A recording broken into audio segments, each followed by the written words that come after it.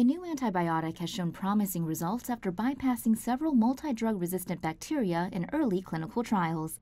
According to a paper published in The Lancet, the trials were conducted on a total of 448 patients with kidney or urinary tract infections. The antibiotic cefiderocol was able to enter the bacteria as it hid among iron molecules. Once cefiderocol is inside the bacteria, it is able to kill it as other antibiotics.